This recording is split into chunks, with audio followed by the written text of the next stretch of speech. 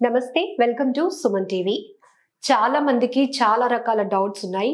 Infertility అసలు ఎందుకు వస్తుంది ఈ సమస్య? ఎక్కువగా ఏజ్ వల్ల లేకపోతే మ్యారేజ్ అయిన తర్వాత ఎన్ని సంవత్సరాలకి పిల్లలు పుట్టకపోతే ఫెర్టిలిటీ స్పెషలిస్ట్ని వెళ్ళి కన్సల్ట్ చేయాలి?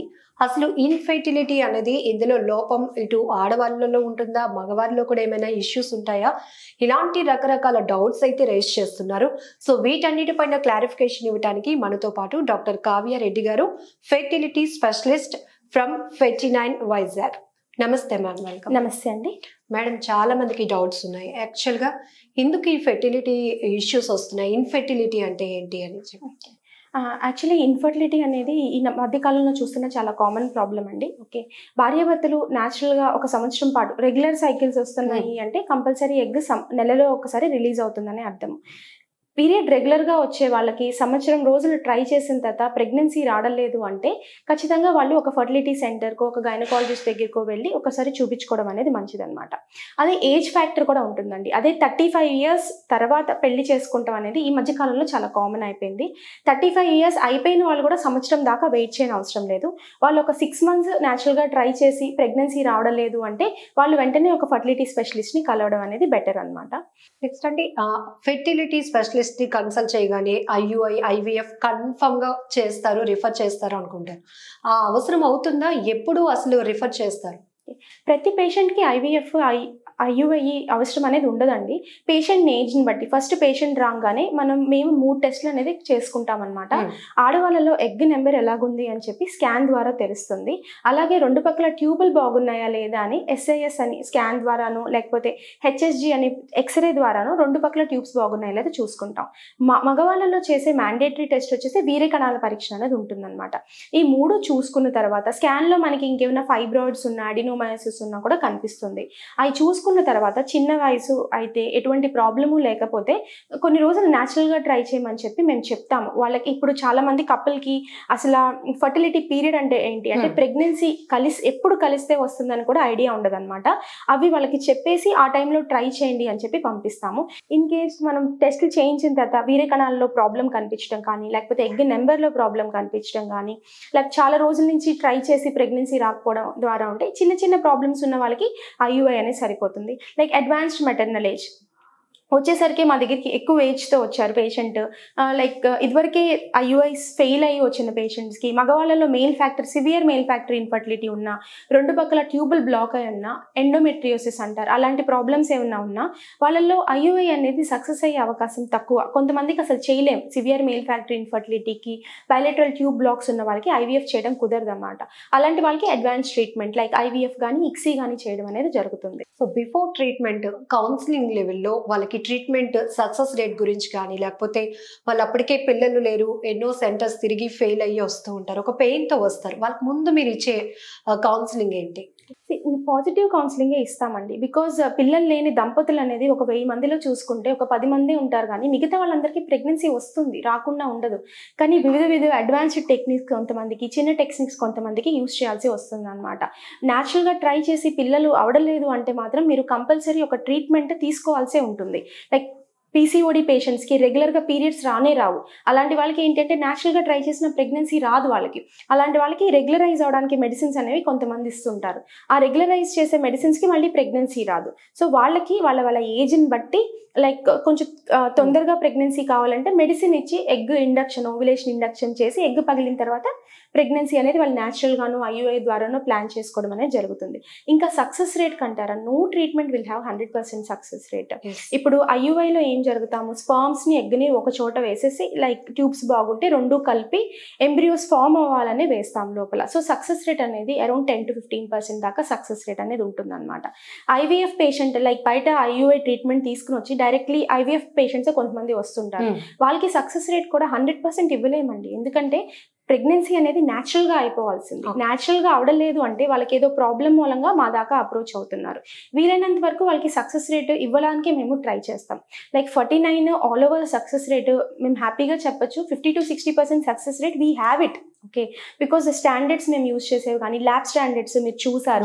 మేము యూస్ చేసే టెక్నిక్స్ కానీ అవన్నీ ఇంటర్నేషనల్ టెక్నిక్స్ వాటి ద్వారా ఏంటి అంటే మీకు సక్సెస్ రేట్ ఎక్కువే. ఎంబ్రియో ఫార్మేషన్లో గ్రేడ్ వన్ ఎంబ్రియోస్ ఫామ్ అవడము అవన్నీ చేస్తాం. కానీ ఇన్బిల్ట్ గర్భసంచిలో ప్రాబ్లమ్స్ ఫైబ్రాయిడ్స్ పాలిప్స్ అడినోమయోసిస్ అవన్నీ మెడికేషన్ ద్వారా కానీ సర్జికల్గా కానీ ప్రతిదీ కరెక్ట్ చేయలేం. ఓకే సో లోపల అనేది ఎంబ్రియో వేసిన తర్వాత ఎంబ్రియో అవంతట అవే అటాచ్ అయ్యి ప్రెగ్నెన్సీగా ఫార్మ్ అవ్వాలి. సో ఆ pregnancy rate depending on their own diagnosis మాత్రమే ఉంటుంది సో ఈ ట్రీట్మెంట్ అనేది ఎక్కువగా కాంప్లికేటివ్ అని లేకపోతే పెయిన్ఫుల్ అని చెప్పి భయపడుతూ ఉంటారు.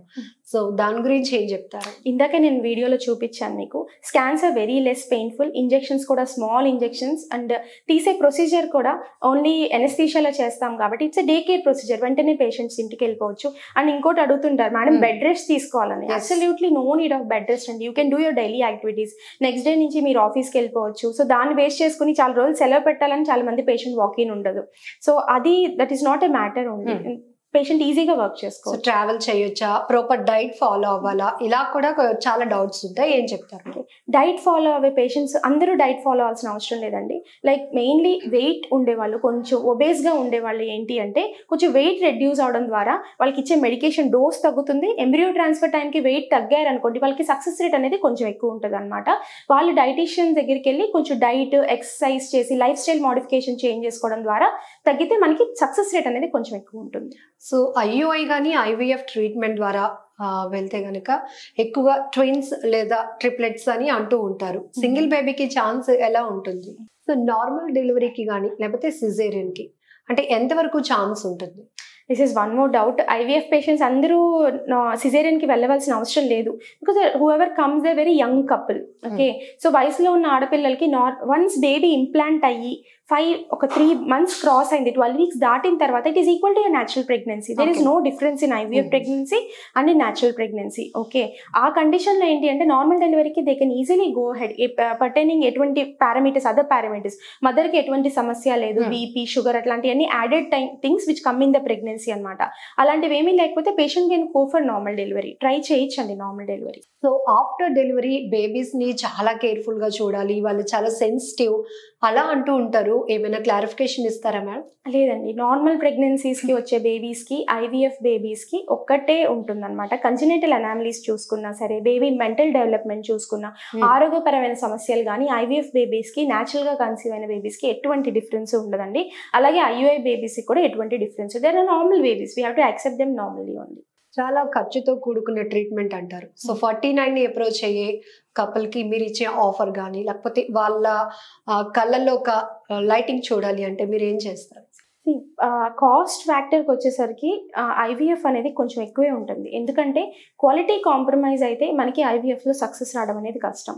యూస్ చేసిన ఎక్విప్మెంట్ నుంచి యూస్ ఇంజెక్షన్స్ బయట వాడే ఇంజెక్షన్స్ ఎగ్ పికప్ చేసే need Hmm. They are not reusable again and again okay use only for one patient one time so ఆ కాస్ట్ అనేది పేషెంట్కి యాడ్ అవుతుంది. దానివల్ల మీకు కాస్ట్ కొంచెం ఎక్కువ కనిపిస్తుంది కానీ ప్రతి పేషెంట్కి ఒకటే కాస్ట్ కూడా ఉండదండి. పేషెంట్ బరువు ఉన్న పేషెంట్కి ఎక్కువ డోస్ ఆఫ్ ఇంజెక్షన్ అనేది వాడాల్సి వస్తుంది.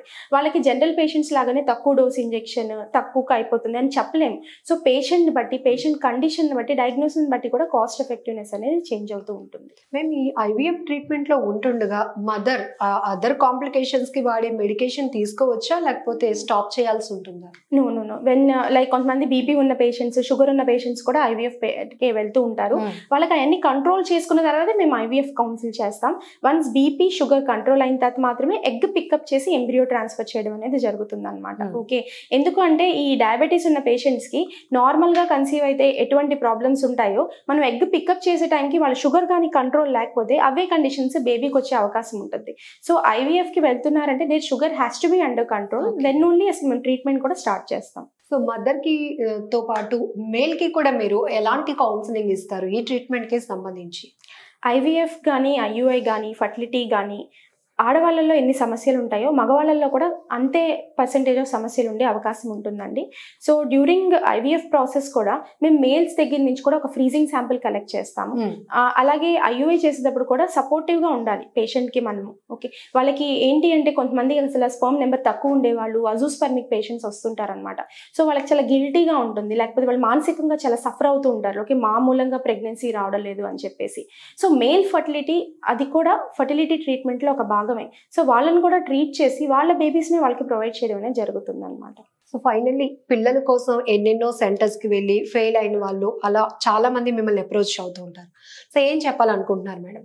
ప్రెగ్నెన్సీ అనేది ఒక బూన్ అండి. ఓకే న్యాచురల్గా రానప్పుడు లైక్ కాస్ట్ ఎక్కువ అవుతుందని కానీ సక్సెస్ రాదని కానీ ఇంట్లో కూర్చుంటే we won't be able to help them okay they have to come to the hospital techniques మారిపోయాయి. నవ్ అడ్వాన్స్ టెక్నిక్స్ పేషెంట్స్కి ఇవ్వడం అనేది జరుగుతుంది అనమాట సో హండ్రెడ్ కపుల్ హాస్పిటల్కి వస్తే దాంట్లో Hmm. ఒక sixty to seventy couples compulsory pregnant అయ్యే బయటికి వెళ్తారు. So they should not miss this chance ఇదేమి మేము ఇచ్చే ట్రీట్మెంట్ ఏమీ లైక్ ఇదేమి ఆపరేషన్స్ ఏమీ కాదు. పెయిన్ ఉంటుంది అవన్నీ భయపడిపోవడానికి.